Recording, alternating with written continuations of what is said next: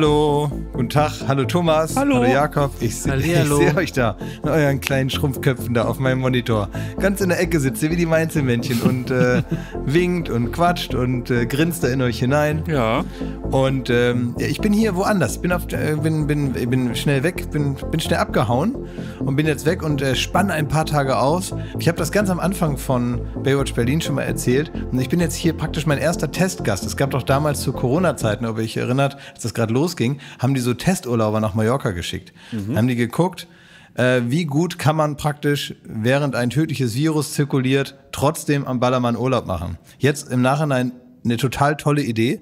Einfach zu sagen, wir schicken einfach mal so ein paar tausend Leute dahin und die sollen dann mal so alles ausprobieren, sollen sich Mallorca-mäßig benehmen, sich komplett äh, im Bierkönig oder sonst wo äh, da den Kopf abschrauben und dann mal schauen, ob die Corona kriegen und wenn ja, was passiert dann? Ist das auch so ähnlich wie bei der Eröffnung vom, vom Brandenburger Flughafen? ja, nur dass die Da haben halt die nämlich auch so einen Testdurchlauf gemacht Ja. haben, haben gemerkt, da funktioniert nichts, also haben sie es eröffnet. Das ist genau, darüber haben wir auch mal gesprochen, stimmt. Ähm, aber die waren immerhin, also haben es dann zu, schon mal ans Mittelmeer geschafft. Ne? Das ist Ja. andere in Brandenburg war ja ganz tragisch, weil sie damit, weil die praktisch vom Urlaub nur die Scheiße erleben, nämlich mit ihrem Koffer da in der Halle stehen. Also das, was man eigentlich möglichst schnell vergessen will, sobald man dann da ist. Aber ich mache das jetzt auch. Ich bin nämlich mein eigener erster Testurlauber. Ganz am Anfang von Baywatch äh, Berlin habe ich das erzählt, ähm, dass ich so ein Projekt plane und das ist jetzt soweit. Ich habe da nicht viel drüber verloren, weil ich also über ungelegte Eier über unaufgeschüttete Inseln rede ich nicht gerne. Aber jetzt ist soweit. Ich habe äh, Wangerooge aufgeschüttet ja? im Arabischen Meer und ähm, ich bin jetzt gerade bei an Langeoog bei.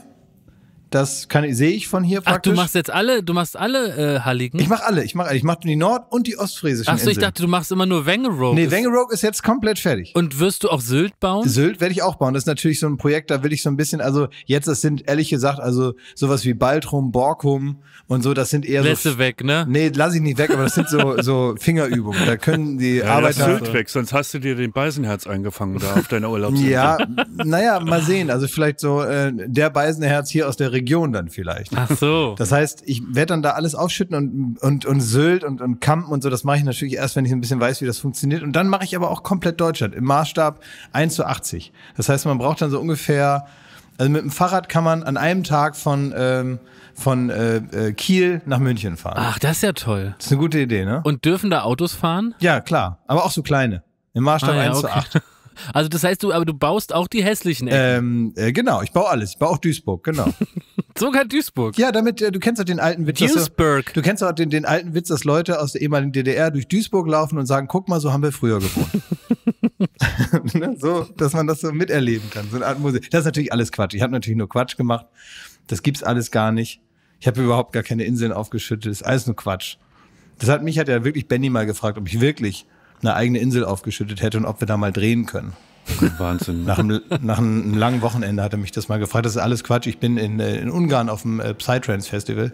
Bin mit dem Zelt hierher. Aha. Und ähm, da hängen wir jetzt alle rum. Es ist ganz toll hier. Und ja, ich soll euch auch schön grüßen von allen. Ich habe hier super viele Leute schon kennengelernt. War da auch die Hochzeit von Pietro? Hier auf dem Zeit? Nein, also hier waren viele Hochzeiten so im übertragenen Sinne. In den Zelten wird also viel geheiratet, so, mhm. wenn man da so abends so entlang schreitet. Aber nee, heute Morgen haben wir Bäume angemalt, Klamotten getauscht. Ich habe so Tigerkontaktlinsen drin. Könnt ihr das sehen? Komm mal nicht ganz nah in die Kamera Ja. kommen.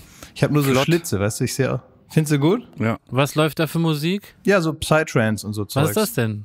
Sag mir gar nichts. Ja, so Trance, so ein bisschen flächige elektronische Musik, So. Mhm. wo man so ein bisschen so hineinwabern kann mit seinem eigenen Gefühl. Ich kann, man kann sich so, man kann sich praktisch so in die Musik hineinweben. Und da bist du jetzt, ja? Ja, ich habe mir, ja, ich habe so mir so Glitzer, ich habe es wie auf dem Coachella gemacht, das habe ich gesehen bei Riccardo Simonetti, der hat sich den äh, Bart so rosa gemacht. Mhm. Ähm, habe ich auch jetzt. Hat er sich da auch eingeschissen? Nee, aber hier hat sich heute auch einer eingeschissen, aber der, aber das war jetzt gar nicht so ein Riesenevent hier, das wird einfach übersehen. Naja. aber ich habe ein Henna-Tattoo auf beiden Händen. Schick. Toll. Frag doch mal, wie es uns ja, das geht. geht aber, ja, wie geht's euch denn eigentlich? Scheiße. Warum, geht's dir denn? scheiße, Schmidti? Ach, die, die Arbeit hat uns wieder voll im Griff. Ne, du darfst Es nicht so von uns sprechen, du musst von dir sprechen, weil ich bin eigentlich noch super gut drauf. Weil ich komme ja aus dem Urlaub. Ja, keine Ahnung. Also ich habe den Fehler gemacht, ich bin an Ostern nicht wirklich weggefahren. Das ne? will ich meinen. Das ist ein Riesenfehler und dann sieht man halt überall, der ist in Paris, der Kopenhagen-Trip, das hier mal kurz nach Ibiza, hier, da, dies, das, ne? Und dann kriegt man so schlechte Laune beim Elden Ring spielen, dass man halt wirklich, äh, da muss man kurz in den Garten gehen. Also wenn ich, also wenn ich mich praktisch zu Hause auch so fühlen will wie hier, da zünde ich mir einfach ein paar Patchouli-Stäbchen an. Auch gut. Und dann habe ich so ein bisschen Urlaubsgefühl. Dann ist das so wie hier eigentlich, ne? Mhm. Mhm. Wollt ihr die neueste, äh, den neuesten Klatsch von Elden Ring hören? Wollt ihr das Oh, von hören? Elden Ring, ja, das wollen, das wollen wir hören, ja. Ja, was gibt's da Neues? Haben wir noch einen Opener dafür? Jetzt geht's los! Schmittels Daddelklause. Also pass auf, das, da, da ist eine Riesenaufregung. Ne? Das ist wirklich, also das ist jetzt wirklich spannend. Also klar, ich weiß, du willst entspannen in deinem Urlaub da, ne? Aber das kann, also das ist, das, treibt den, das Adrenalin hoch. Es gibt nämlich eine neue Legende im Spielerhimmel. Und zwar gibt es ähm, einen absoluten Endboss bei bei äh, Elden Ring. Das die heißt, glaube ich, Melina.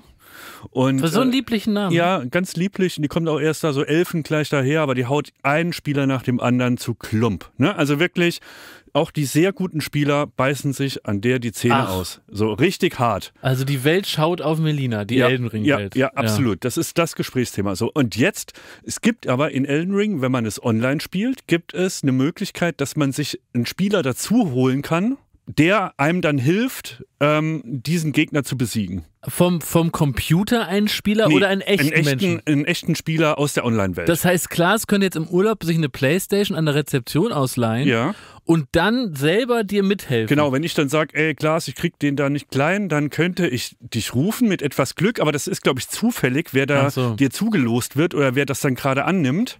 Und dann kommt derjenige, ähm, kommt da aus dem Himmel geschossen so und hilft dir dann die, äh, die Melina kaputt zu hauen. So. Irgendwie erstmal eine gute Idee finden. Erstmal wenn eine ich gute höre, Idee. Ne? Das ist auch super. Und jetzt gibt's aber Das einen. klingt alles so cool. Ich habe den Anfang nicht mitgekriegt. Ich dachte irgendwie, die Melina kaputt hauen. Bei uns arbeitet doch eine Melina. Ich dachte, was ist denn los bei euch? Da ist man mal zwei Tage nicht da und wollt ihr Melina kaputt hauen. Nein. Nee. Mit mehreren Leuten. Nein, das ist eine böse Melina da. Also äh, in, in dem Spiel. So. Im Spiel. Ja. Okay.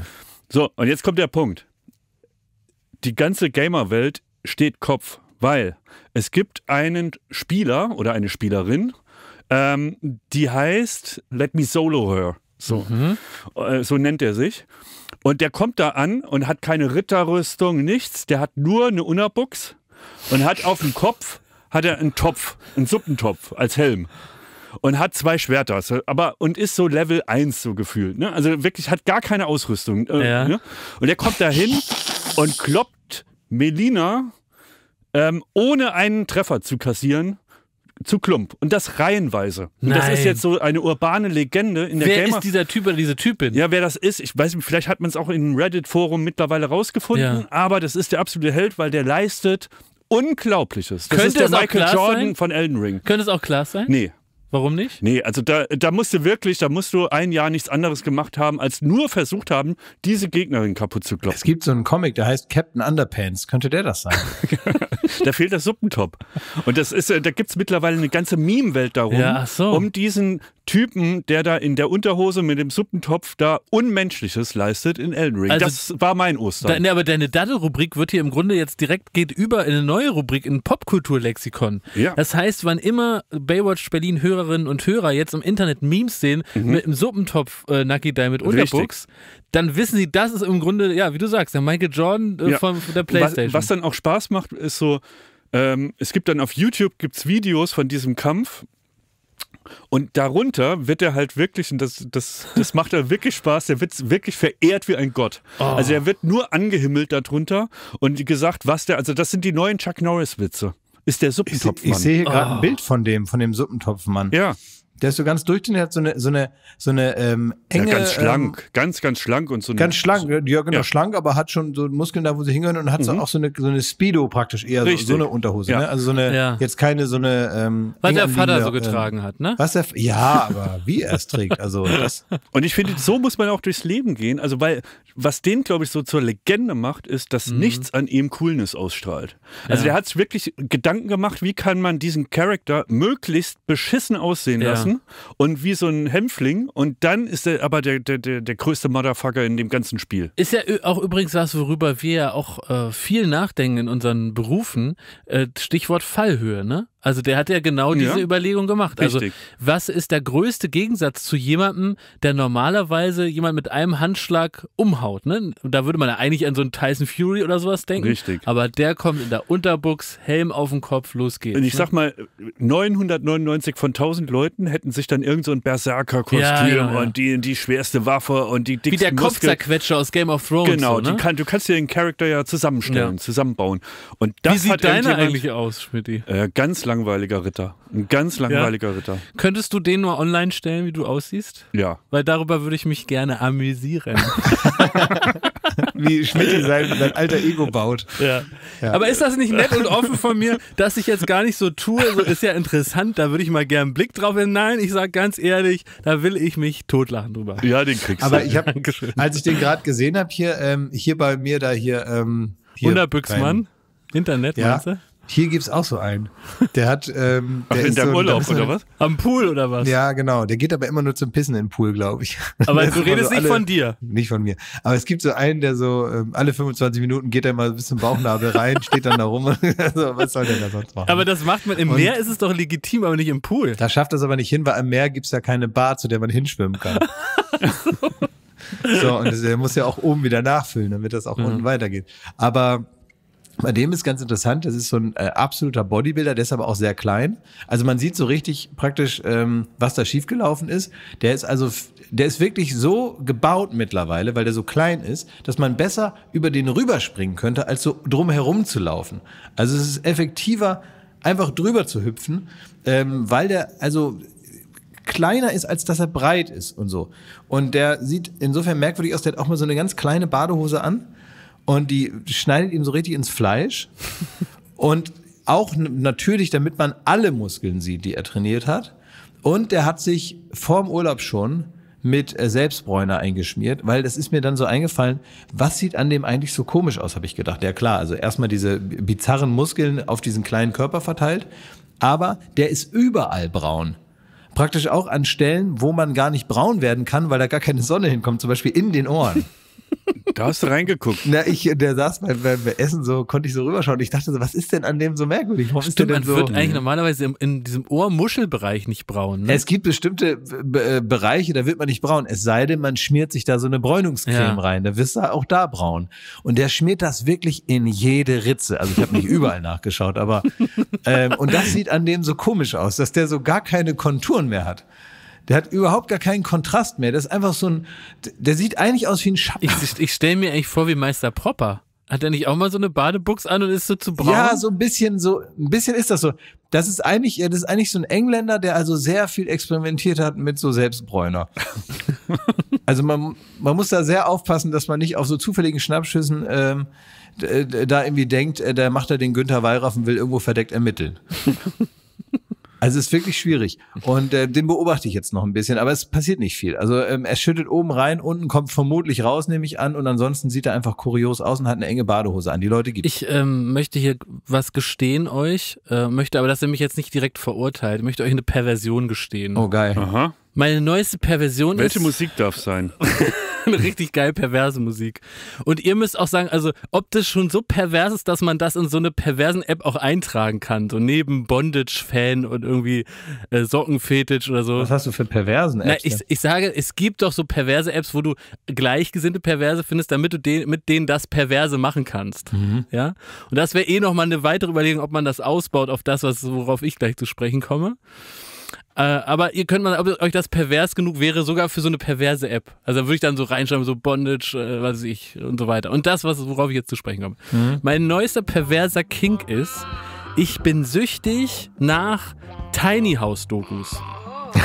Und zwar habe ich in allen öffentlich-rechtlichen Mediatheken, Kannst du es ein bisschen erotischer erzählen? Das ist, ich habe in allen öffentlich-rechtlichen Mediatheken. das ist deine Erotik? ich glaube schon, ja. Ui. Wie ist denn deine Basler. erotische Stimme? Hallo. Ach so. Klar. Ich habe alle Tiny House Dokus geguckt. Mhm. In den öffentlich-rechtlichen Mediatheken. So, und die habe ich alle geschaut und habe darüber festgestellt, nach der zehnten oder so, dass mich eine ganz besondere Sache daran verrückt macht. Ja, also mich wirklich verrückt. Nicht sexuell verrückt, das ist vielleicht jetzt der, das, der Bammer, aber, das macht ist- mich aber verrückt, ist es schon sodass so eine, ich, so dass ich es Ob- gucken muss. Objektophilie? Ja, es ist eine, es, es geht aber gar nicht um die Tiny Häuser. Kein Porsche-Parkplatz. Darum geht es auch nicht. Es geht um die Tiny House Bauer. Weil wenn du dich entscheidest, also nochmal zur Einordnung, ein Tiny ist ein sehr, sehr kleines Haus. Tiny heißt ja auch so winzig und klein. Und äh, die meisten Tiny House Bewohnerinnen und Bewohner, die haben sich das selber gebaut. Ähm, um da, da drin zu wohnen und für die geht da auch so eine ganze Lebensphilosophie mit einher. Die Überschrift ist Verzicht, ne? also nur das Wesentliche. Man hat ja nur sehr, sehr wenig Platz. Und was ich wahnsinnig witzig finde, ist, dass alle Tiny House Besitzer, die da zu Wort kommen, die triumphieren über das System. Die sagen, wir sind so schlau, wir sind so pfiffig, wir haben die Lösung gefunden. Und die sind so richtig, die tragen die Nase ganz hoch und die Schultern ganz breit, weil die so pfiffig sind. Und dann muss ich immer denken, und das ist für mich der eine, eine Gedanke, ihr fühlt euch super pfiffig, aber ihr wohnt in einem super kleinen Scheißhaus. Und diese Tatsache, die finde ich so witzig, dass Leute die ganze Zeit sagen, ja, wir haben es hier, wir haben es verstanden, wir wissen, wie es geht. Ihr Idioten da oben in euren Schlössern. Aber wir sitzen hier auf dem Klo direkt am Esstisch. Und dieses Triumphieren, das ist so witzig. Bitte, bitte, liebe Baywatch Berlin Hörerinnen und Hörer und äh, Schmidti und Klaas, bitte schaut euch eine Tiny House Doku an und wartet, es dauert im Grunde eigentlich immer nur eine Minute. Also man muss nicht wie bei Pornos lang rumspulen, ne? Sondern nach einer Minute kommt der Erste, der sagt, ja, ich setze jetzt hier auf ein Tiny House, hab dem ganzen System Haus ein Schnippchen geschlagen, sag ich mal, Shortcut ins Leben. Und das ist wirklich, also das hat mich fasziniert. Ist herrlich. Und das ist dann auch so, dass die ähm, da drin auch immer so alles so umschieben können, ne? Die können alles schieben, weil die wirklich, du, du sitzt beim Scheißen und kannst dann aber auch Mittag essen. Im Grunde, so musst du es ja, du musst es ja Das so ist eigentlich angehen. wie der Typ hier aus dem Pool, ne? Also, dass man Ja, einfach, ja. einfach nur noch nachschüttet. Du musst, äh, du kannst beim Scheißen Mittag essen, dabei kannst du mit dem linken Fuß di- dieses Tiny House auch noch fahren und sitzt eigentlich mit einem Bein auch im Bett. Und das ist im Grunde das äh, geniale System hinterm Tiny House. Also bitte unbedingt diese Dokus wegschmachten, weil die Typen sind alle gleich. Ach toll. Ja. Ja, das kann ich mir vorstellen, ja. Sowas gucke ich mir gerne an. Es gibt übrigens noch zwei Dokus, die damit enden, dass sich von jeweils einem unterschiedlichen Mann am Ende der Doku die Frau getrennt hat. Ja, das ist das die nächste Frage. Das ist Da ja ist, eigentlich dann, nur was. da ist ein Fazit, Experiment Tiny House gescheitert, aber in beiden Fällen sagt der Mann, ich, bleib- ich mach weiter, ich bleib hier. Ja. Bis er komplett vereinsamt in, in, in also ja, aber das wäre jetzt die nächste Frage. Also das kann man natürlich nur machen, wenn einem andere Menschen egal sind. Also Ja. einen Rückzugsraum könnte man sich praktisch bauen aus der aus der Seitenwand der Toilette und irgendwie der Eingangstür oder so. Ja, dann kann man sich dann so, eine, so, ein- so ein Dreieck zusammenschieben irgendwie und dann kann man sich dann mal zurückziehen und mal so ein bisschen für sich sein. Ne? Ja, vielleicht ist das nächst nach Tiny House einfach ein Sarg. ja. Dass du so triumphierend im Sarg hockst und sagst, ja Leute, fickt euch mit euren Penthäusern. Das auf der Erde leben. Ja, Schon lang nicht mehr mein Ding. ja, Unter der Erde. Mit dem Rohr zum Atmen nach oben. Das ist es. genau. Ihr Idioten. Ich habe eine gute Sache festgestellt, die uns zivilisatorisch ein bisschen in die Gegenwart bringt. Ich habe festgestellt, dass man jetzt endlich ein bisschen normaler äh, und auch ein bisschen besser umgeht mit Technik. Ähm, also selbst ich. Also ich habe an mir festgestellt, habe ich gemerkt, okay, wir sind jetzt in einem neuen Zeitalter, wo also Dinge selbstverständlicher werden, weil ich ja genau wie ihr auch die Übergangsgeneration war, wo auf einmal ganz viel neue Technik hineinkam. Und die wird jetzt aber erstmal so bleiben. Die wird sich natürlich verbessern und auch schon verbessert haben in der letzten äh, Zeit, in den letzten Jahren. Und mir ist das deswegen aufgefallen, weil ich zum Beispiel merke, dass ich zum Beispiel Spracherkennungs-Apps oder Spracherkennungsdienste nicht mehr anschreie. Ich rede mittlerweile normal mit denen. Ja. Ich äh, schreie die nicht mehr an und rede nicht mehr mit denen, als wären die ein bisschen dumm und vier Jahre alt. So hat man das nämlich zehn Jahre gemacht. Wenn es Wie wird das Wetter? Genau. So, man hat so, so mit denen gesprochen. Und auch bei Touchpads, die allerersten Touchpads, muss man wirklich mit der Faust draufschlagen, damit das Ding reagiert hat. Am besten mit der flachen Hand draufdrücken, so doll man konnte, bis einem der Daumen oder die ganze Hand wehtat. Und mittlerweile ist es ein ganz leichter, kleiner Tipp drauf und zack, funktioniert es. Und ich finde, der mittlerweile gängigere, normalere Umgang, so wie man das aufs Film kannte. Man kommt nach Hause, hängt die Jacke auf, Licht an, zack, geht Licht an. Ne? So. Dann, das funktioniert. Wir haben natürlich da gestanden und haben eigentlich praktisch mit der Ausformulierung unserer Befehle mehr Zeit verbracht als mit dem, äh, mit dem Lichtschalter drücken oder mit dem, was man sonst gemacht hätte stattdessen oder bei der Auskunft anrufen. Und das äh, habe ich jetzt an mir festgestellt, dass ich offenbar jetzt ein moderner Mann bin, indem ich äh, so Geräte nicht mehr behandle, als wären sie irgendwie äh, zurück. Darf ich kurz nachfragen? Was ich interessant finde an- an deiner Persönlichkeit auch, und ich möchte es mal, also äh, versuchen, dem näher zu kommen. Oh, jetzt kommt Du- so, eine, du- so eine hinterlistige Beleidigung. Nein, aber ich finde interessant, also man könnte einerseits sagen, der technische Fortschritt erlaubt eine wesentlich lässigere Bedienweise.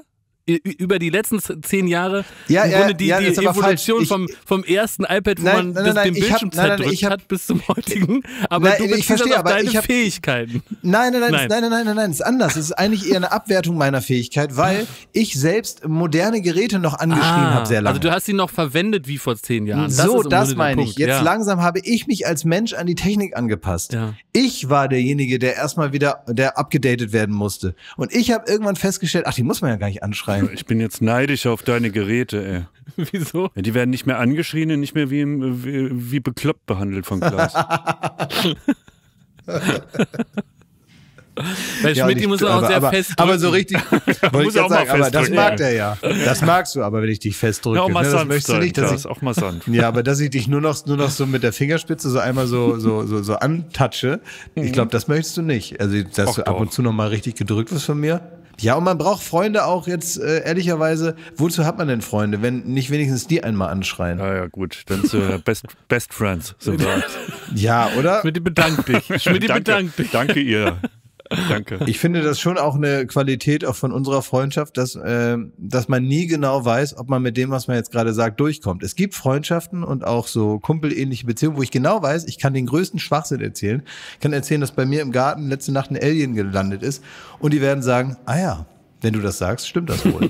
es gibt so Freundschaften, von denen man weiß, da kommt man mehr, oder Freundschaften, aber so Bekanntschaften oder Gespräche, in denen man bereits drin ist oder die man gerade erwartet, wo man genau weiß, man kann eigentlich hier, kommt hier komplett durch mit allem. Man kann auch irgendwelchen Quatsch erzählen, den man sich in der richtigen Freundschaft nicht trauen würde. Weil man genau weiß, man hat eigentlich nicht genug Ahnung. Gilt das für Promis nicht immer generell? Weil es ist ja wahrscheinlich auch so für, ob das jetzt ein Hotelangestellter ist oder keine Ahnung, irgendjemand in einem Laden. Es ist, ähm, es, es fällt einem doch schon schwer, wenn jetzt so Thomas Gottschalk vor dir steht oder so, dass du dann irgendwie, ähm, und der redet offensichtlich richtigen Müll, dem zu sagen, Herr Gottschalk, Sie reden offensichtlich richtig, richtig, richtigen Müll. So, also ich weiß nicht, ob diese Hürde nicht eh schon da ist bei, ähm, in Anführungszeichen, Normalos gegenüber Prominenten und du vielleicht schon seit zehn Jahren in so einer Welt lebst, wo dir vieles abgenickt wird. Das ist das große Problem. Ich gebe dir vollkommen recht. Und äh, da muss man eben zusehen, dass man sich äh, die, die, die, die besten Freunde oder die Freunde, die man hat, ähm, bewahrt und zwar ein Leben lang und nicht erst holt, wenn man äh, sonst wo angekommen ist oder so oder irgendwie so eine, so eine Situation hat, wo es schwierig ist, das selber auch von innen zu durchbrechen, weil es einem die ganze Zeit so entgegenkommt. Und deswegen muss man um jeden froh sein, der einem äh, äh, tagtäglich, vielleicht nicht, aber zumindest damit es angebracht ist, halt äh, auch sagt, jetzt halt mal deine Fresse. Das ist schon nicht unwichtig. Aber man muss natürlich auch aufpassen, dass man nicht an die sogenannten falschen Freunde gerät. Und so ist es ja bei dem jungen Mann passiert, der uns im Grunde das Sorry der Woche präsentiert. Xavier Naidu, der ja jetzt in einer großen Entschuldigung eigentlich nochmal deutlich gemacht hat, dass er die letzten zehn Jahre aus Versehen bei der Wahrheitssuche ähm, ist er an die falschen Leute ger geraten, die ihm aus Versehen die falsche Wahrheit auch mitgegeben haben, wie zum Beispiel, dass die Erde eine Scheibe ist, dass Donald Trump äh, Kinder entführt und aus, aus äh, sein, deren Blut trinkt, dass, äh, dass die Juden an der Weltverschwörung schuld sind. Und all diese Sachen, die haben ihm aus Versehen Leute, also die haben ihm Leute gesagt und er hat das aus Versehen geglaubt und hat die dann selber weiterverbreitet. Er ist dann auch aus Versehen, ist er, glaube ich, so kann ich nur mutmaßen, ist er so am Handy ausgerutscht, dass er eine ganze Telegram-Gruppe erstellt hat, wo er noch bis eine Woche, bis zwei, drei Wochen vor der Entschuldigung ganz, ganz lange Texte reingetippt hat. Und jetzt tut ihm das aber leid. Aber auch nicht so ganz so konkret, muss man sagen. Aber, ne? aber, glaub, aber glaubst du denn, dass er auch aus Versehen so eine ganze Tour gebucht hat mit so aus Versehen super vielen Plätzen, die wieder verfügbar Nein, ich sind? glaube, dass er ähm, gerne eine Tour gebucht hätte. Ah. Ist nur eine so, Vermutung, es. ja. Aber dass es wahrscheinlich inzwischen durch die Entwicklung seiner Persönlichkeit kaum noch Leute gibt, die sagen, lieber Xavier, bitte komm doch bei mir in die sehr, sehr große Tonhalle hier in Essen und spiel da deine Lieder. Ja, so ich ein Telegram-Konzert, das, das ist nicht so lukrativ. das ist nicht so. Na, ich glaube, dass der schon noch bei so Idioten irgendwelche Tickets verkauft, aber wenn keiner mehr da ist, der sagt, hier kannst du äh, spielen und keiner mehr da ist, der sagt, ich äh, leih dir mal äh, ein Klavier und ein Schlagzeug, dann wird das schwierig und dann ist es vielleicht besser mal Also- sich zu entschuldigen. Wenn es da Echsenmenschen gibt, dann bin ich am Start. ey. Ja. Dann Kaufe ich ein Ticket. Du willst, willst ja auch eine gute Stimmung da haben, ja. Das ist ja das Problem. Stell dir vor, Ja. du würdest ja wahrscheinlich mit Ach und Krach irgendwelche Läden da voll kriegen. Aber das sind ja dann Menschen, die wollen dann die ganze Zeit diskutieren über irgendwas und bringen dann ihre, ihre Fahnen damit und kommen dann mit so selbstgebastelten Pappschildern, die sie sich so um, um den Hals hängen und so. Und die sind dann ja auch nicht alle so, so gleichmäßig verrückt. Ne, das wäre dann ja okay, dann könnte man ja zumindest mal wissen, wie man sie alle behandeln soll. Sondern was man ja vergisst, ist, dass diese Truppe, die er sich daran Ja. gezüchtet hat, die sind ja alle sehr individuell Komplett, verrückt. ja, ja. Das heißt, die würden sich in so einer großen Halle nicht mal untereinander richtig gut verstehen, Stimmt, sondern bis da Streit losgeht über, über irgendeine Abzweigung einer Verschwörungstheorie, die der eine dann so findet und der nächste sagt, ah, das ist aber jetzt ein Quatsch. Ne? Ähm, das war ja auch früher so, auch vor diesen ganzen Corona-Maßnahmen, gab es so, ein, so eine das war wirklich lustig, immer so ein Treffen von so Verschwörungstheoretikern äh, aller Couleur auf dem Gendarmenmarkt. Das war bevor das halt jetzt so riesengroß wurde. Und äh, dadurch, dass das halt einfach so viele kleine Splittertheorien sind, dass sie sich nur unter der Überschrift, wir sind alle irgendwie, äh, haben so Theorien. Das ist so der kleinste gemeinsame Nenner.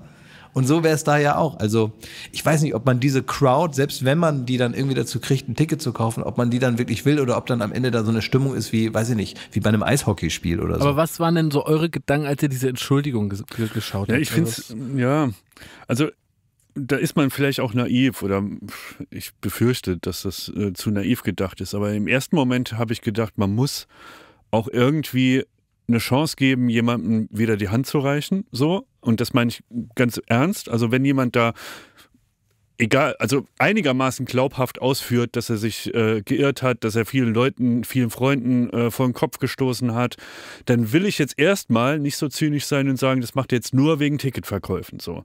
Weil man muss ja auch sehen, also egal welche Blase er sich angezüchtet hat, er macht sich in dem Moment jetzt auch nochmal sehr, sehr viele Feinde aus einem, aus einem Milieu, wo man auch gar keine Feinde haben will. Ne?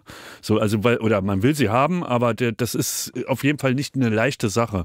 Und ich glaube, er stößt jetzt seinen neuen Freunden komplett vor den Kopf, ohne sicher zu sein, dass ihm die Entschuldigung abgenommen wird und so.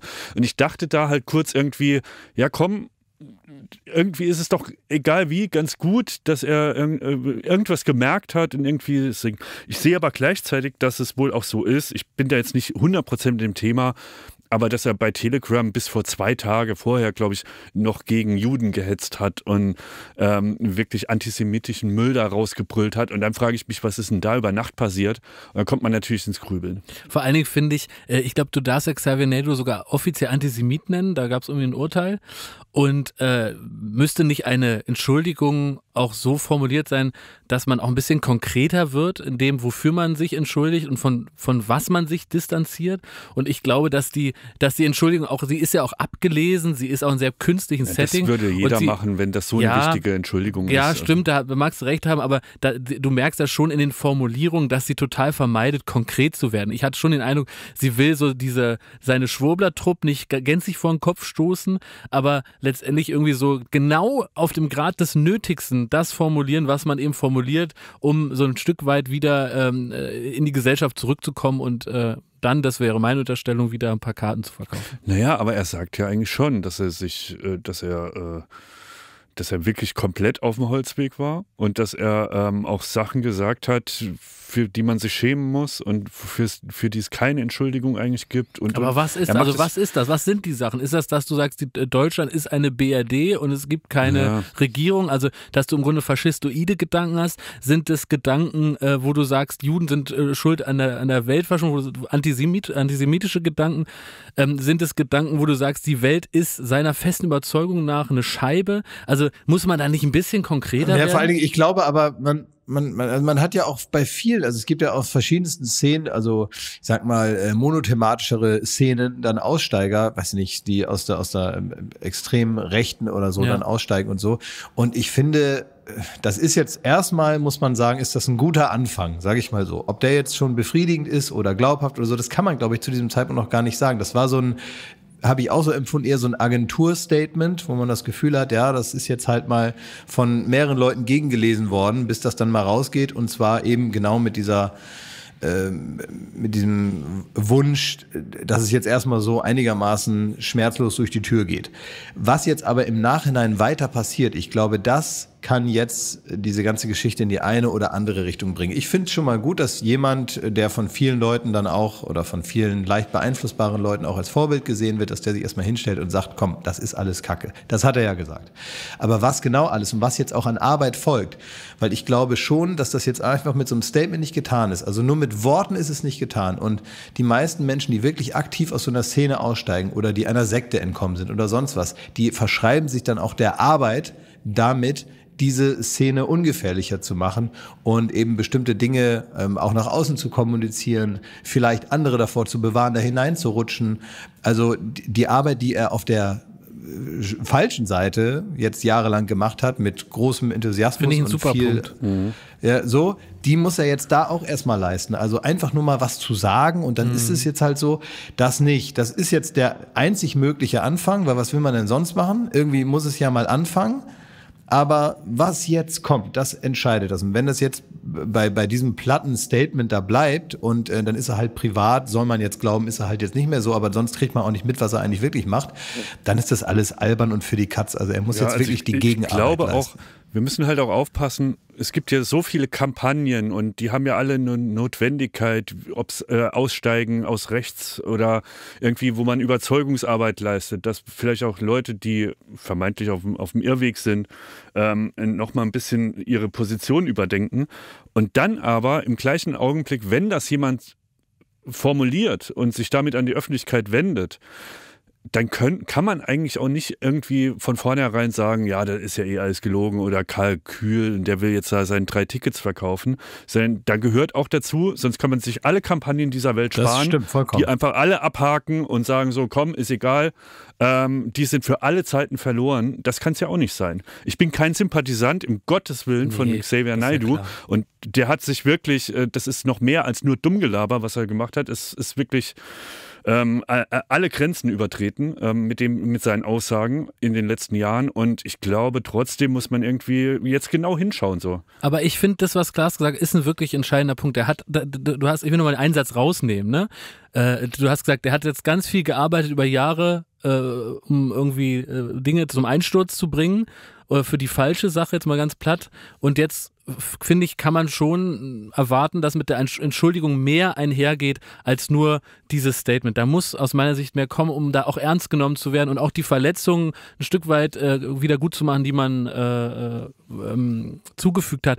Ich finde, das ganze Thema ist grundsätzlich so spannend, gar nicht mal an der Figur Naido, sondern das Thema Entschuldigen ist heute so, so spannend, ne? weil eigentlich ähm, gibt es ja im Leben so viele Situationen, in denen man selber auf die Entschuldigung angewiesen ist und man ist darauf angewiesen, sich zu entschuldigen und man ist darauf angewiesen, dass der andere oder die andere das annimmt. Ne? Also äh, es ist immer schwierig, dazu auf, auf einem zu hohen Ross zu sein, über Leute zu urteilen, die sich entschuldigen, weil das passiert eben viel auch bei Twitter, dass äh, dann das nicht angenommen wird oder dass es nicht ausreicht. Und äh, da denke ich immer, ja, hoffentlich ist der, der gerade Richter darüber ist, ob das jetzt ausgereicht hat, nie selber äh, äh, fehlbar und angewiesen darauf, etwas richtig zu stellen oder einen Irrtum ähm, ähm, einzuräumen. Und das, da bin ich bei dir, Schmidt, das muss immer auch möglich sein, einen Irrtum einzuräumen, sich zu entschuldigen und danach wieder auch von der Gesellschaft umarmt zu werden. Mhm. Aber es reicht aus meiner Sicht eben nicht aus, was er jetzt im konkreten Fall dafür tut. Oder man muss eben sehen, was noch Naja, kommt. eben genau. Man muss jetzt sehen, was noch kommt. Ich finde, man darf aber auch mal so ein bisschen beleidigt sein.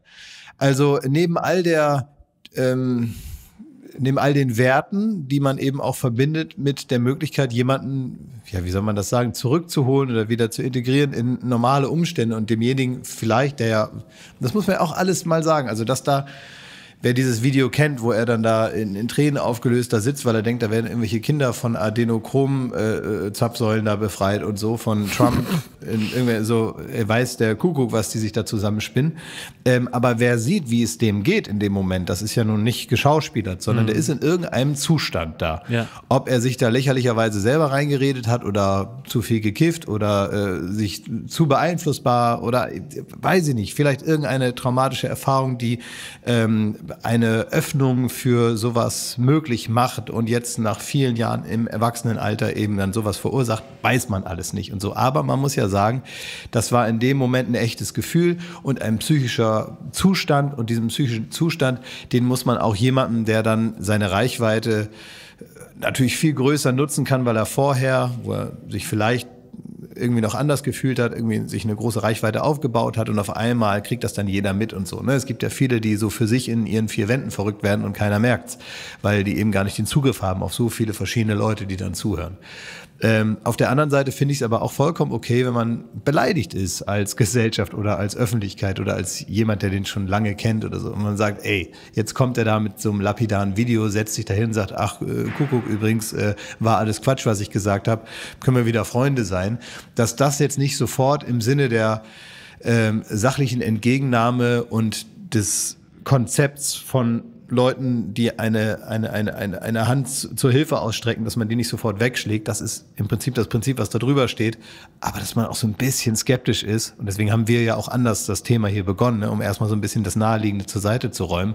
Und einfach so ein bisschen sagt, ey, also so, vielleicht kriegt man nicht immer sofort alles entschuldigt und vielleicht gibt's dann manchmal dann doch noch so eine Langzeiterinnerung und vielleicht ist man ein bisschen nachtragender, wenn eine bestimmte Grenze verbal oder inhaltlich oder rhetorisch sehr lange, sehr oft und sehr intensiv überschritten Er hat sich ja jetzt lange, lange eingesetzt dafür, dass wir alles skeptisch auf die Welt schauen und dementsprechend ist es auch okay, wenn man jetzt das Statement mal Stimmt, sich guter Punkt. skeptisch anschaut. Guter Punkt. Noch letzte Sache, ich meine, warum ist man auch so streng mit ihm? Ne? Er ist ja nicht einer von vielen Schwurblern gewesen, sondern ich finde schon, wenn man nochmal zwei Jahre zurückspult, so Anfang der Corona-Pandemie, als äh, aus so ein paar witzigen Schwurblern, die man so bei Spiegel TV beäugt hat, eine ähm, ne Bewegung geworden ist, die dann wirklich auch äh, in vielen großen Städten zu großer Zahl viel auch mit, mit Rechtsradikalen zusammen ähm, äh, demonstriert haben und da einen Terz und einen Terror gemacht haben, ihre Masken nicht getragen haben. Gab es Demos in Berlin,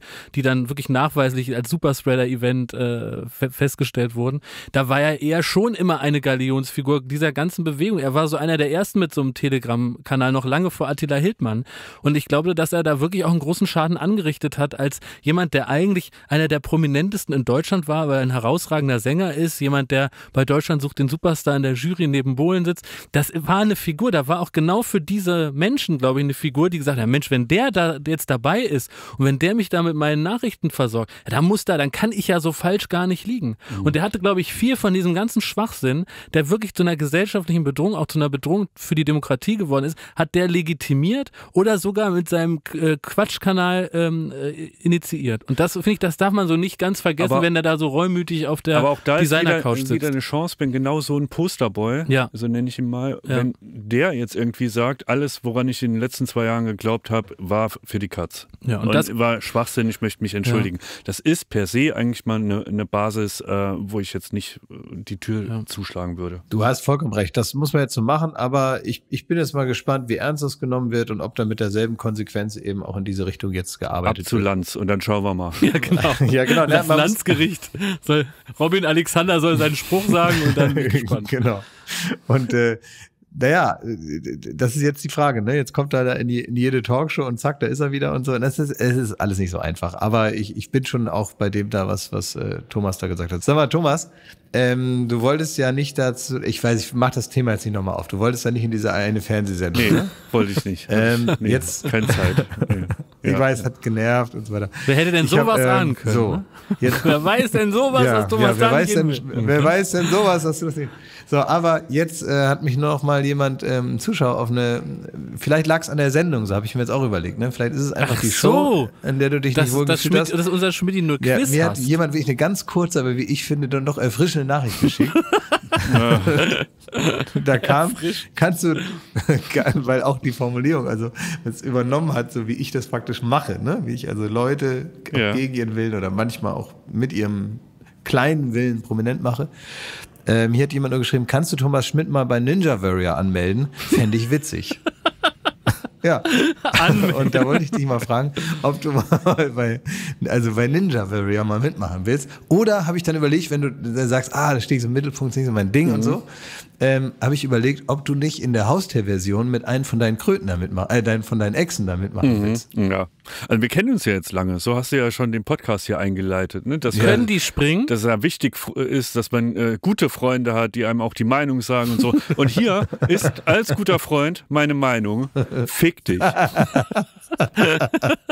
Ah, das finde ich nett, dass du so, immer noch so, so, dass du so direkt noch zu mir bist. Ja. Das sind die wenigsten. Gern erfrischend? Okay. erfrischend, oder? Erfrischend. Also Ninja Warrior, ich leite daraus jetzt mal ab. Nein. Und Köppen, ein Nein, lass oder? das Handy liegen. Ne? Ja, okay, gut. Also Unser- braucht gar und- keiner erst anrufen. Aber du kannst doch, kannst du hangeln zum Beispiel? Nee, das Einzige, hangeln? was ich machen würde, ich würde nächstes Jahr ähm, in der Neuauflage von der Passion würde ich den Jesus machen.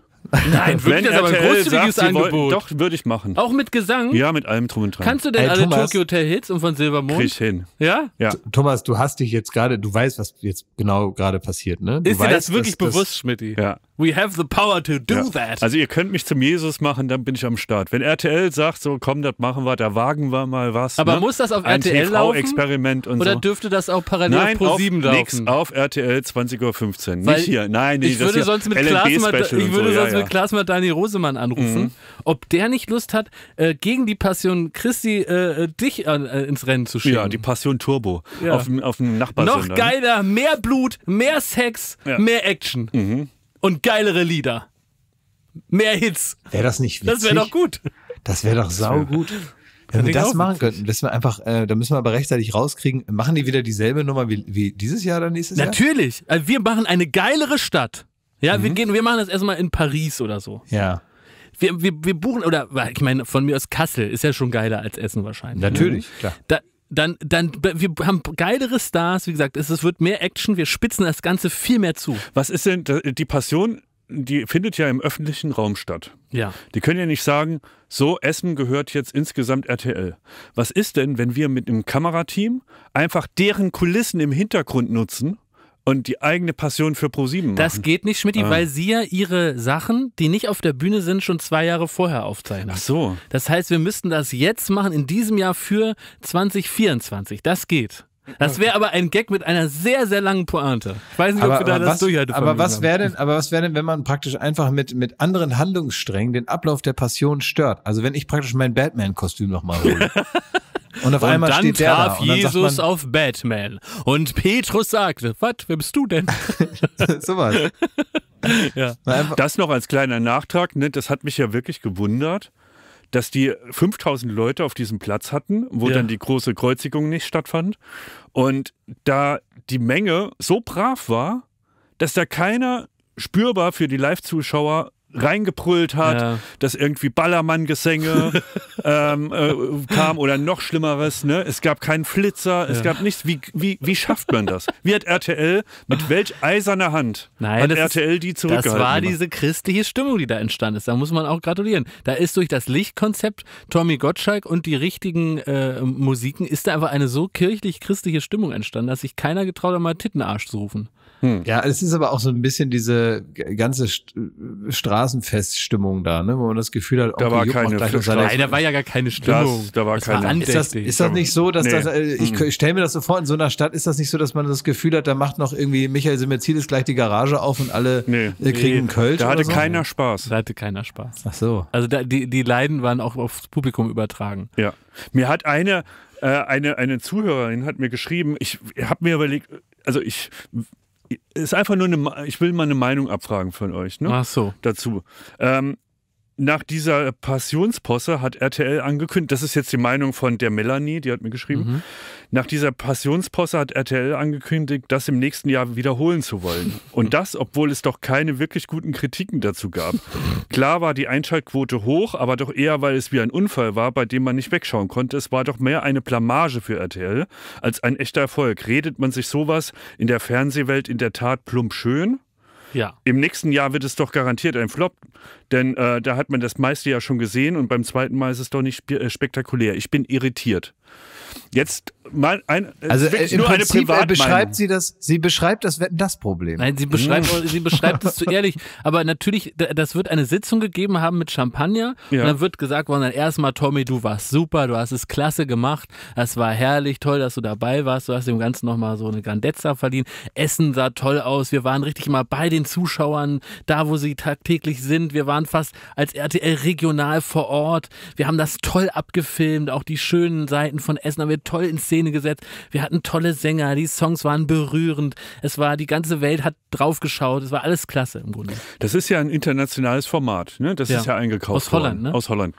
Und ähm, das heißt, die haben auch eine sogenannte Showbibel. Das, das ist, Was ist das? ich sage jetzt mal ganz plump, ein Katalog, in dem drin steht, ich habe The Voice gekauft, dann muss das Studio so aussehen.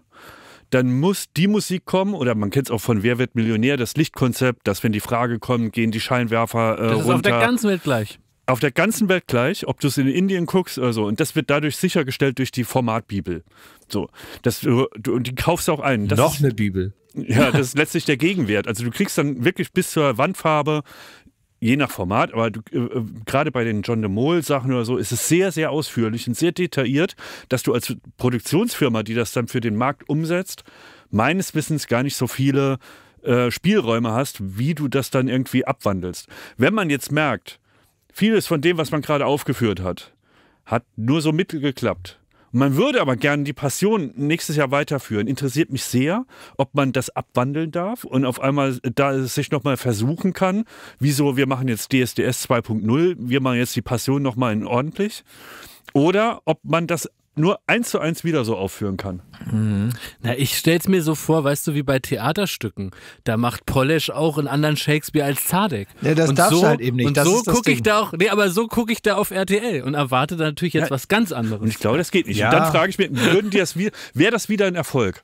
Oder ist da dieser, Mann, ich wollte jetzt RTL dieses giftige Geschenk ins Schuh legen, dass wir jetzt Ach, du meinst, du meinst, dass die einfach nächstes aufbauen. Jahr denken, alles klar, ey, super, sehr gute Idee, wir nehmen Jonathan Mese nächstes Jahr. Ja, genau. Der macht das. Ja, genau. Nee, aber auch, dass die sich selber jetzt äh, die, äh, die denken, die Erwartung ist, das ist jetzt nochmal ganz anders. Und dann ist die Enttäuschung noch größer, wenn es wieder Jonathan genau Mese gleich ist. malt, malt, malt große Bühnenbilder im Hintergrund und darf auch ein bisschen bei der Inszenierung reinquatschen und so.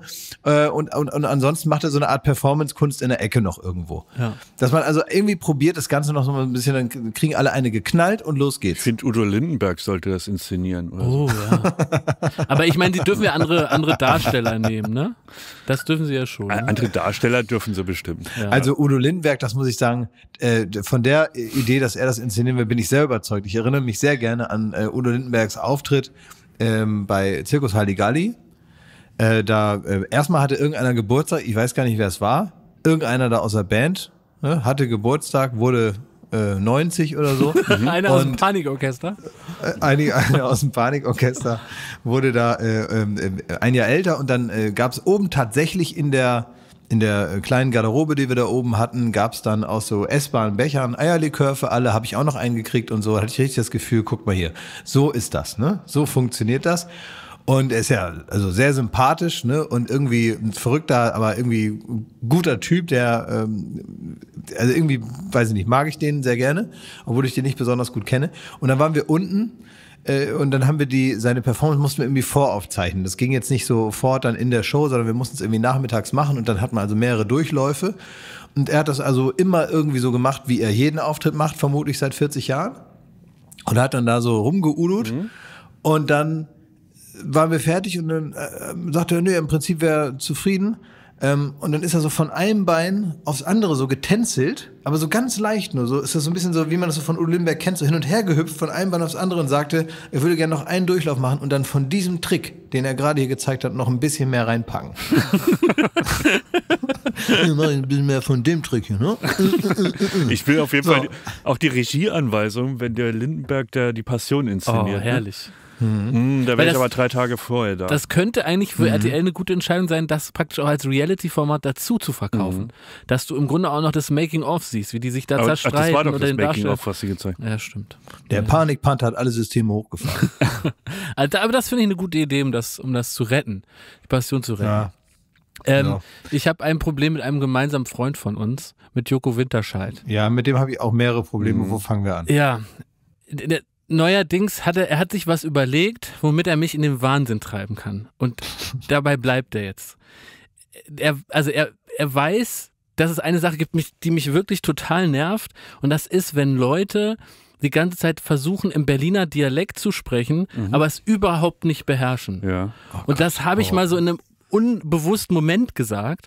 Und seitdem klingen Sprachnachrichten von Joko und jeden Satz, den er an mich richtet, ungefähr so. Komm, kannst du mal abspielen. Ich habe eine vom Handy dabei. Jakob, ich bin es, Joko. Ich wollte dir nur ganz kurz sagen, was, dass ich in Berlin bin die nächsten Tage. Und äh, ich würde dir gern sehen. Zum Essen. Ich würde dir so ja einladen. Äh, sag mir doch mal, ob das passt. Also, ich bin da Mittwoch bis. Äh, Entschuldigung. Ich bin, ich bin da bis Freitag. Wir waren jetzt zusammen im Urlaub und da ging es morgens schon los. Guten Morgen, Jakob. Und das ist aber alles auch so falsch. Und wie viele die Berliner Dialekt nachmachen, denken, denken die Menschen dann, man muss immer ein Wa dranhängen. Soll ich dir noch was vom Buffet mitbringen? Wa? Also ich kann es gar nicht so beschissen nachmachen. Aber das verfolgt mich in meinen Träumen. Und ich weiß nicht, dass ich meine, du hast die meiste Erfahrung im- Umgang mit Joko. Wie kann man ihm Ja. das austreiben? Was kann man dagegen nicht, tun? Kann man nicht. Kann, kann man einfach man nicht. muss einfach geht hoffen, dass das in zehn Jahren nicht mehr witzig findet. Ne? Ja, aber das passiert auch nicht. Das ist jetzt einfach da und es bleibt. Also es gibt keine Möglichkeit. Es ist, es ist dasselbe wie mit diesem, ähm, zum Beispiel, dass er immer, also es gibt zwei Sachen, die mich wahnsinnig nerven, dass er immer so laut schreit. Immer so von jetzt auf gleich, also so, wenn er, manchmal will er einen Witz machen oder, oder so, und dann schreit er so ganz laut dabei, ne, so dass man sich so kurz erschreckt und dass man das Gefühl hat, boah, das, äh, das ist jetzt auch gar nicht gut für den Witz. Also es hilft dem Witz jetzt gar nicht, dass er so wahnsinnig laut schreit. Man hat nur das Gefühl, jemand überschreitet äh, die zulässige Lautstärke hier so, dass wir uns alle wohlfühlen, ne? Also und dann, und dann schreit er so ganz laut. Das ist die eine Sache. Und die andere Sache ist, dass er mit allen Gegenständen immer so tut, als wären das Telefone. Das hat man auch immer in, in, es gibt so bestimmte Runden, in denen man manchmal ist, in denen das nicht angebracht ist. Also man kann das in der Sendung machen, von mir aus oder so. Aber es gibt ja manchmal so, ich sag mal so Verhandlungssituationen oder, ähm, na, eher ernstere Situation. Und dann klingelt irgendwo ein Telefon und er äh, nimmt irgendwie den, den, äh, den Pfefferstreuer und sagt, hallo, äh, wer ist da? Ne? So. Und, und das ist wirklich so ein Moment, wo danach auch keiner lacht, alle so gucken. Und das macht er natürlich nicht, weil er das selber witzig findet, sondern weil er weiß, dass mich das verrückt macht. Und das macht er seit zehn aber kannst du das nochmal ganz kurz abspielen? Ja. Nur kurz anspielen? Jakob, ich bin es, Joko. Okay. Ich wollte dir nur Also, mein Vorschlag wäre, nächstes Jahr, die Passion ist er der Barabbas. Das ist so dieser, dieser der, der so irgendwie zehnfache Vergewaltiger und so ein riesen Arschloch und wo die Menge dann lieber will, dass der freigelassen wird Genau. als genau. Jesus. Und ne? der Semmelrocke, man hatte ihn ja nicht gehört, weil Ja. er kein Mikrofon gekriegt hat. Aber der hat genau die Grimassen zu der Stimme gemacht. Ah, das stimmt, ja. Ja, das ist doch, das ist doch ein guter Vorschlag. Mhm. Was ich eigentlich versuchen werde, aber ist klar, ich werde ihn auf dich umrouten. Ich sag, dass dich das richtig sauer macht, wenn man das mit so einem Akzent spricht, dass ich da gar nicht so bös bin, aber dass du mir gesagt hast, dass dich, dich das richtig irre macht. Und dann ähm, Ja, ist das, das auf dich aber alles übertragen. Es klappt aber alles nicht, weil du kannst uns auch nicht aufeinander hetzen. Es geht gar nicht. Also, weil Joko und ich sind tatsächlich nicht gegeneinander auszuspielen. Ja, das stimmt. Ähm, wir haben so unsere, wir haben so unsere kleinen äh, äh, Momente manchmal, aber wenn einer von außen probiert, uns irgendwie so zu instrumentalisieren, auch noch gegeneinander oder so, das geht immer nach hinten los. Also ich sage dir, wer das Opfer sein wird in diesem Dreieck. Und du willst uns nicht beide zum Feind haben. Nee, und außerdem, passieren. das zeugt auch davon, dass du anscheinend, obwohl ihr in Urlaub fahrt und, und gute Freunde seid, du, du, du hast, du weißt nichts über Joko.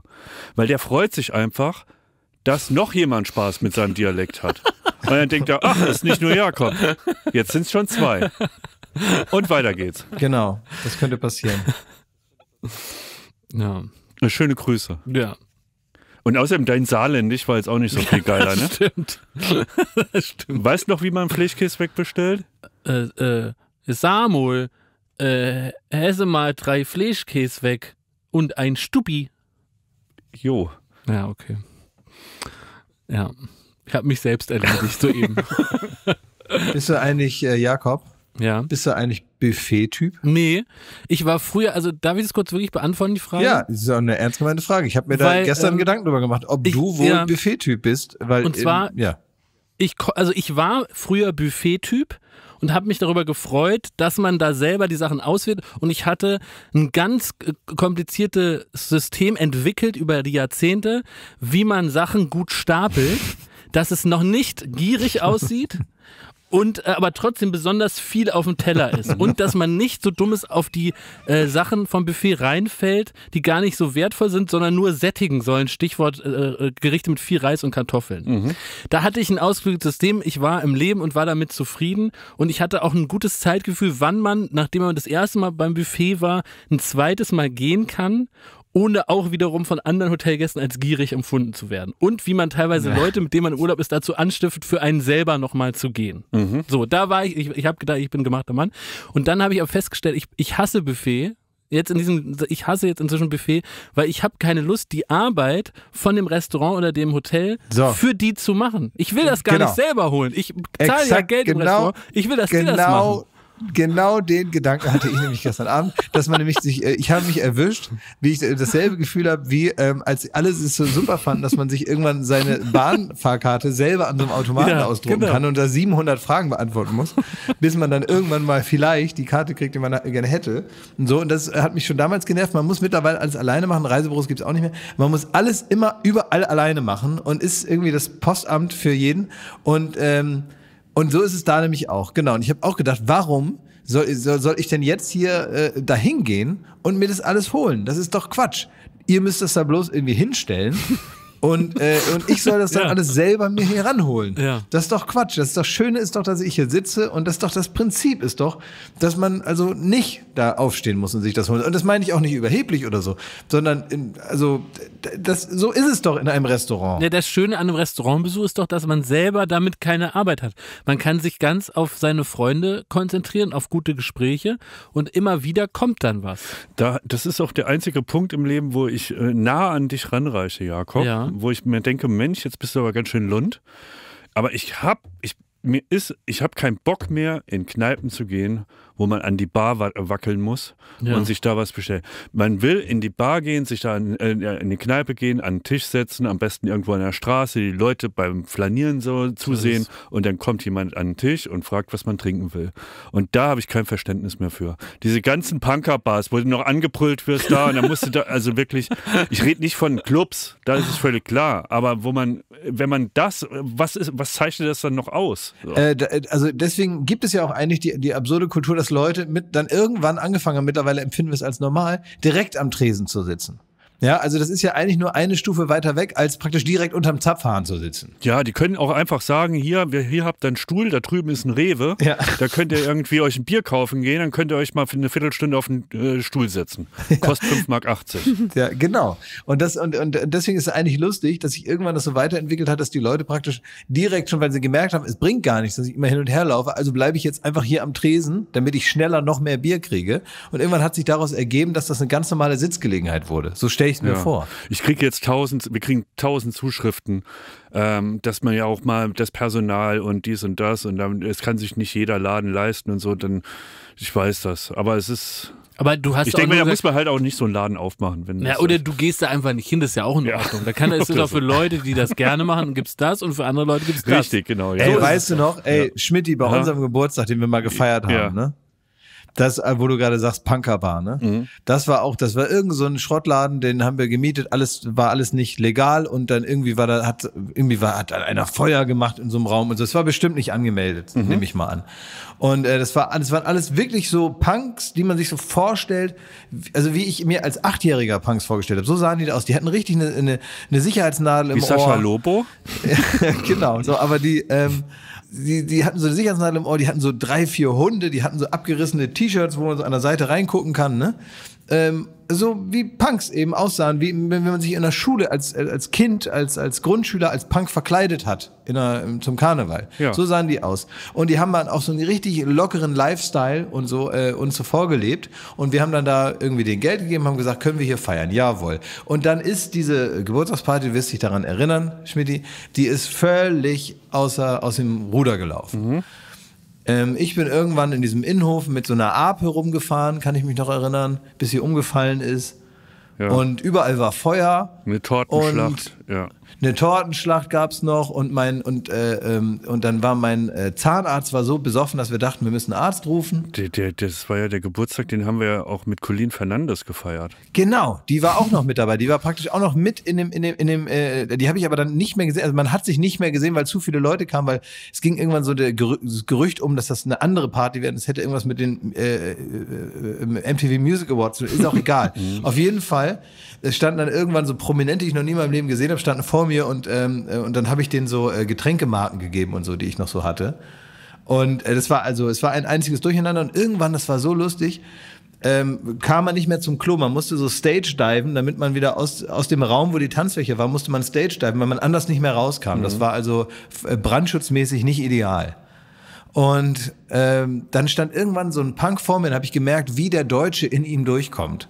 Also wie das bisschen äh, äh, ja, System, was ihm dann noch verblieben ist in all seiner Anarchie, das kam dann vor mir zum Vorschein. Der war richtig sauer auf mich und hat gesagt, hier sind zu viele Leute, das geht so nicht. Hat der Typ zu mir gesagt. Das Mit geht der so Ratte nicht. auf der so eine- mit der Ratte auf der Schulter. Das geht so nicht. Ich hab gesagt, was geht so nicht?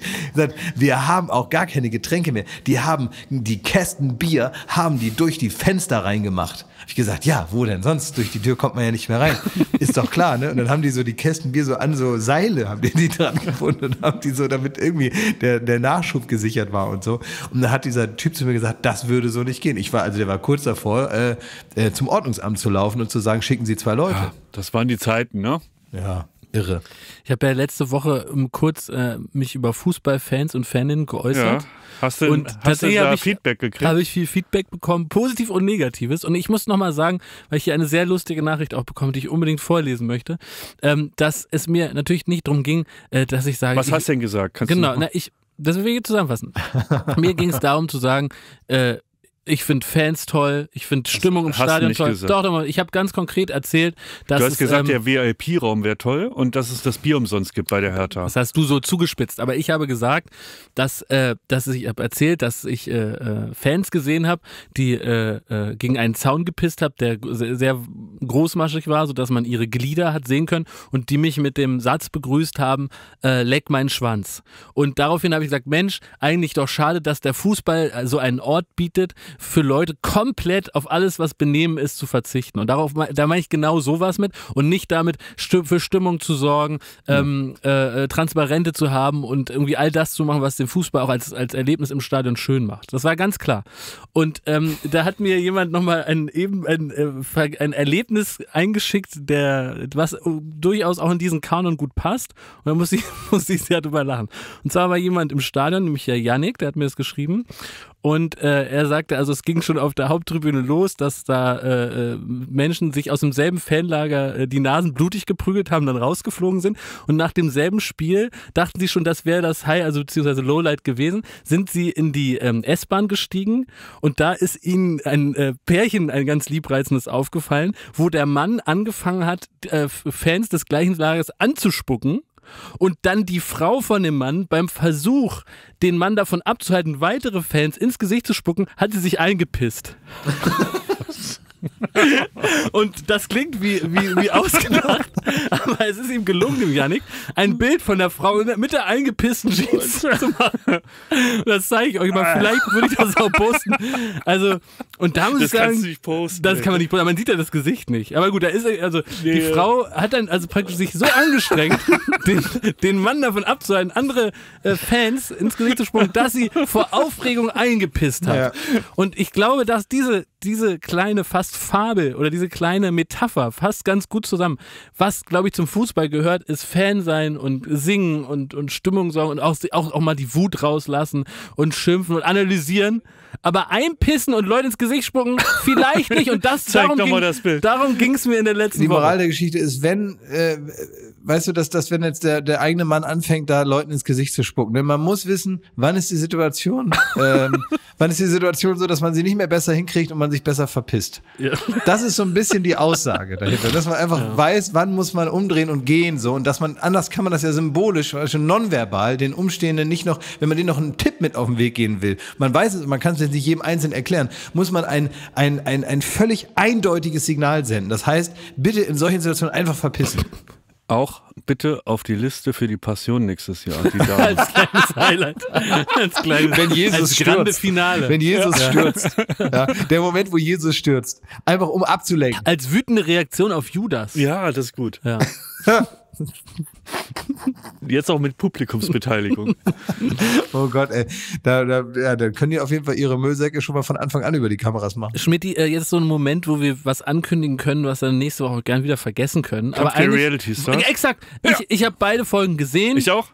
Ich möchte dich bitten, dass wir jetzt, äh, vielleicht äh, jetzt die Zeit auch schon knapp wird, wir uns die 38 Euro teilen. Ja. 37, dann sind können wir- 37. Wir, wollen hier 37 nicht wuchern. Na, geh und Euro Äh, Trinkgeld. ist RTL 2 nicht billiger? Nee, in dem Moment. Deswegen, ich möchte, wir müssen erstmal sehen, ob sich RTL 2 mittlerweile sind wir ja dazu übergegangen, dass die Sender selber bezahlen. Ne? Ja. Stimmt. Und, ihr ja, müsst du jetzt, hast und recht. die müssen, ja. die müssen mit Bargeld bezahlen. Das heißt, wenn RTL 2 bis nächste Woche 37 Hat Euro jetzt schickt, eine Woche Zeit. die haben eine Woche Zeit, Bargeld in einem, in einem, in einem, in einem äh, Briefumschlag. Ja. Ähm, äh, Mit einem schicken, Autogramm von 37 Gundes Zambo. Nee, das geht Doch, nicht. ich Ja. möchte so ein Autogramm von Gundes Zambo. Die hat doch früher das äh, mit diesem Tierchen da moderiert. Das habe ich sogar geguckt. Bim Ja, Bambino aber oder wir so. wollen es doch jetzt nicht dran scheitern Ja, lassen, okay, dass sie stimmt. die Das ist 40 dumm Euro von mir schicken gedacht, und dann recht. kommen sie nicht an das Ohne Autogramm, ausdrücklich ohne Autogramm von Gundes Zambo. Ich möchte also diese 37 Euro in bar geschickt bekommen Ja. und einen Battlebrief von einem RTL 2 mitarbeiten und dann denke ich drüber nach. Okay. Und dann können wir nämlich darüber reden, äh, über diese zwei fantastischen Folgen, Ja. die wirklich, und das wäre ein bisschen, ein bisschen die Überschrift, und ich weiß, da sind wir uns einig, die Unschuld wieder zurückbringen ins Reality-Fernsehen. Das, die das guten Probleme seit zwei sind Jahren. zurück. Kampf der Toll. Reality Stars ist das beste Format Ja. gerade auf dem Ja. Markt, was das angeht. Auch wenn diese Staffel, muss ich sagen, etwas schwächer anfängt, weil manche Ideen, sieht man, können wir dann auch drüber reden, Mhm. Ja. zünden nicht so. Ja. Und da haben sie es so ein bisschen, ist es zu salopp, Stichwort die Iris da mit ihrem, das, also Das die Idee bisschen ist genervt, halt kompletter, genervt. äh, kompletter Müll. Aber die Sanduhr, die hat mich voll und ganz überzeugt. Sanduhr ist super und es ist aber wirklich Sag mal, die jetzt Ruhe. Das ist, also das Ja. ist schon mehr als eine. Inhaltsangabe Ja. hier. Das könnt ihr nächste Das Woche stimmt. machen, wenn bezahlt ist. Ja. Tut mir leid, ich muss das jetzt hier unterbinden. Vielleicht war das jetzt aber auch ein Hinweis für RTL 2, in Es welche in Richtung gute unsere Richtung, Kritik ja. geht. ne? Gerne Also, noch zwei Nullen ja. ranhängen. Können uns auch nochmal 40 Euro schicken. Ja, genau. So, also jetzt werdet nicht verrückter, wir haben da klare Preise und äh, da muss man jetzt eben sehen, ob, ob, ob, das, ob da äh, mitgespielt wird oder ob das als egal angesehen wird. Naja, egal. So, ähm, ansonsten wollte ich nochmal darauf hinweisen, dass es immer mal wieder, du hattest das vor kurzem nochmal, ähm, jetzt habe ich mal wegen verschiedener anderer Menschen nochmal wieder die Hinweise bekommen, dass wir vielleicht nochmal darauf hinweisen können und man kann es nicht oft genug sagen und immer mal wieder auf Wiedervorlage möchte ich es hier oder wo auch immer besprechen. Wenn ihr da draußen noch nicht typisiert seid, das klingt jetzt erstmal komisch, bei der DKMS, bei der deutschen Knochenmarkspende, dann macht das bitte. Da geht es darum, dass ihr eventuell der richtige Spender seid für jemanden und Knochenmark spenden könntet ähm, für jemanden, der dringend darauf wartet und an Leukämie erkrankt ist und äh, dann wieder gesucht wird. Also es gibt immer wieder Leute, die also länger schon äh, äh, Leukämie äh, haben oder jetzt gerade erst erkrankt sind und dann wird in der großen Datenbank geschaut, gibt es irgendwo auf der Welt oder in Deutschland jemanden, der Knochenmark spenden könnte, weil das zusammenpasst und dafür müssen sich möglichst viele verschiedene Leute typisieren lassen. Ich habe das gemacht, wir haben das glaube ich alle gemacht, ne Jakob und Thomas, ihr auch.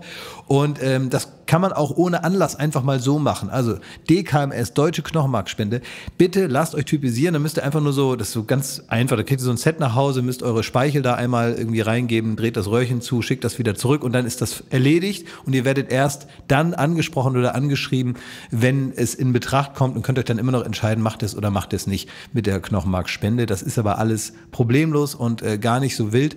Nur für denjenigen, der keine Knochenmarkspende, keine passende findet, für den äh, kann es mitunter tödlich enden. Insofern ist das eine so eine tolle Sache, was man gerne mal machen kann und das kann man nicht oft genug sagen, dass ihr das mal machen könnt. Und da kann ich auch nur bestätigen, ich, ich wurde angeschrieben von alten Schulfreunden, mit denen ich äh, auf dem Gymnasium war früher, ähm, dass von denen eine Bekannte an Leukämie erkrankt ist und die haben auch so eine Internetseite, Leben, äh, Melanie darf nicht sterben, ist eine junge Mutter gewesen und daraufhin habe ich das auch bei Facebook gepostet, ähm, dass man sich da, dass man spenden äh, oder sich registrieren soll.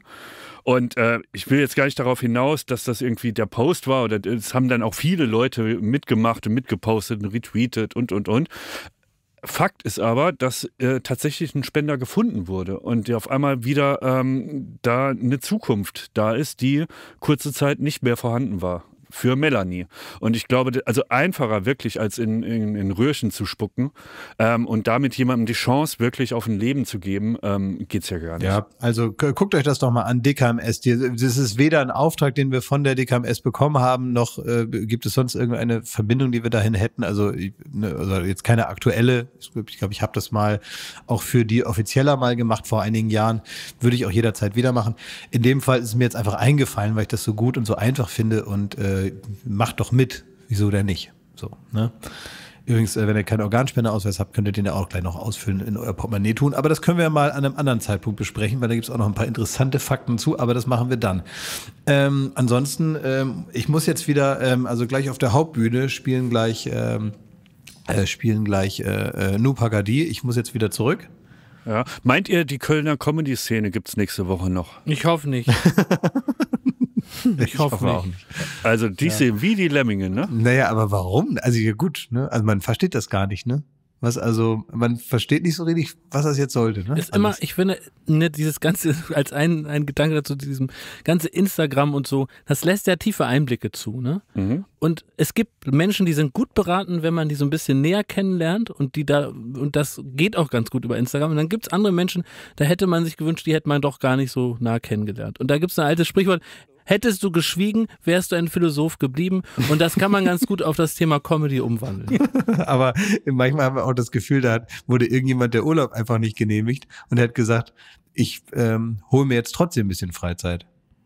Ne? Ja, ja. Also anders ist das ja bald nicht mehr zu erklären. Na gut, ansonsten ein dreifaches Alarm machen, in, die, ne? in, in die in die Rheinmetropole. An alle Und, Großmeister der ähm, Comedy, liebe ja. Grüße. Wir ähm, verabscheuen uns. Bis zum nächsten Mal. Ihr Jochen Busse. Können wir wenigstens die Tradition aufrechterhalten, dass wir Ja, mit den Worten ja recht. schließen, die da heißen. Alle Jute, alle Liebe. Ah, Na ja, komm.